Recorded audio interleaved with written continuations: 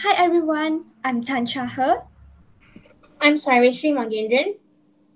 I'm Irene Natasha. We are The Contagious Intelligence.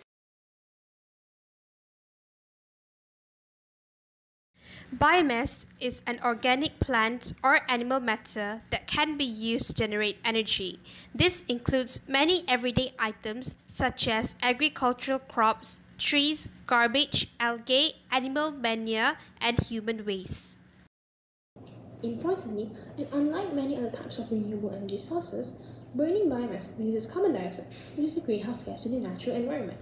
However, the emission of carbon dioxide is balanced by the photosynthesis process carried out by green plants.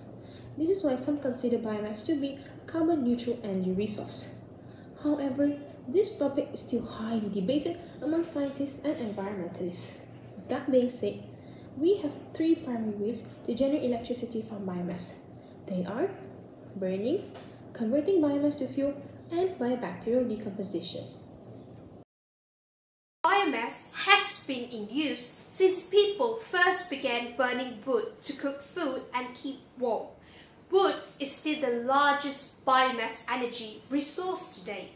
Other sources include food crops, grassy and woody plants, residues from agriculture or forestry, oil-rich algae, and the organic component of municipal and industrial waste.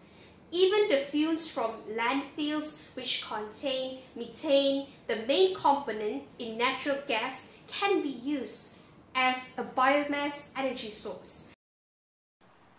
Converting biomass into electricity works similarly to generating electricity from coal. During this process, biomass is burnt in a boiler to produce steam. The steam is then flown into a turbine blades which rotates and power a generator that creates electricity. Another way to generate biopower from biomass is by converting it to gaseous fuel.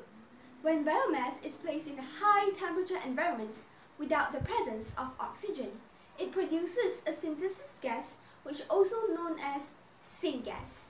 This gas can then be burnt in the boiler or a gas turbine for electricity generation.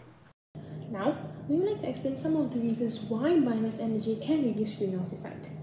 Firstly, it is considered green energy because it is carbon neutral. For instance, let's burning wood, which will produce no more carbon dioxide than leaving a plant to die and decompose naturally. Biomass energy also can decrease methane emissions, which are given off by anaerobically decaying plant material. Plus, it is infinitely renewable if the resources are managed sustainably.